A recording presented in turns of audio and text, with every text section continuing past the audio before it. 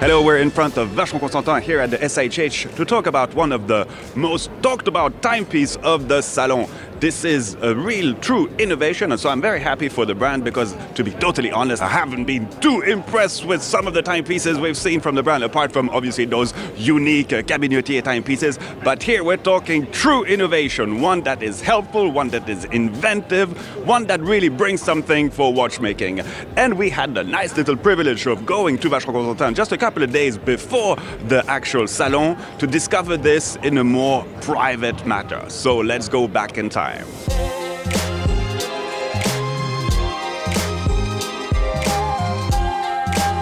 For this SIHH, we are presenting a, a fantastic novelty, which is a Traditionelle Twin Beat perpetual calendar. So this is, uh, as the name suggests, it's a perpetual calendar, but this is also the first uh, user-controlled uh, dual frequency timepiece. So uh, this is uh, this is a very complex system uh, which has been which has been developed 100% by Vacheron Constantin in-house during four years.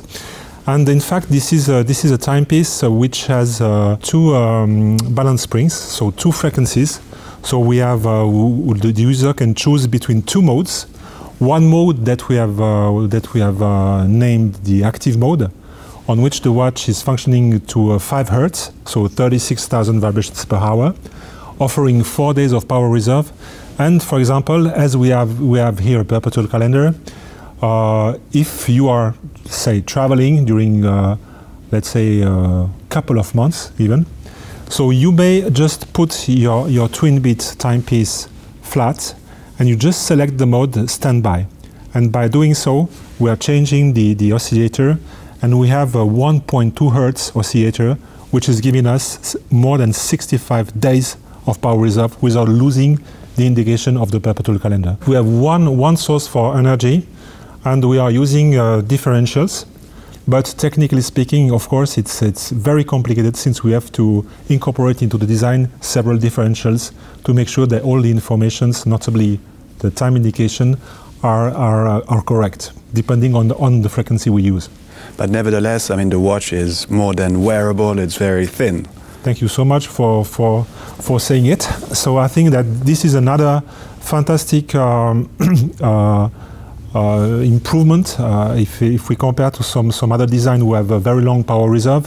So we have 65 days of power reserve and the movement is uh, 32 millimeter of diameter and only 6 millimeter of total thickness, thickness, which means that we have to remember that this is a perpetual calendar, it's a manual winding, and we are embarking uh, 65 days of power reserve in such a small, uh, small space. The watch has to be uh, worn in active mode, and uh, really, when you want to, to, to put the watch in a safe, for example, if you want to change the watch or you, you have to do something something else, you really remove the watch from the wrist. You have to put it flat, and then after you select the standby mode. So the watch is not thought to be to, to function on the wrist uh, in in standby standby mode. So it's really something which is here to to make sure that the perpetual calendar will will always be uh, set properly.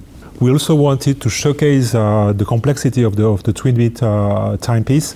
So that's why the, our designers had the idea uh, to, uh, to create a watch face which is half traditional, meaning that we have a hand guilloche, beautiful upper dial, and the lower part of the dial is sapphire crystal, which, which has which bears a lot of information, notably the ones from the perpetual calendar. So I think it's a, it's a great combination of classicism and modernity, and it goes, I think, really well with uh, with Vacheron Constantin. You will see certainly this watch in, in, in, in the coming years, so there is no reason why we, sh we should do only uh, one or two of these watches. So we think really that there is a, a very um, that there is a strong future for this for this innovation.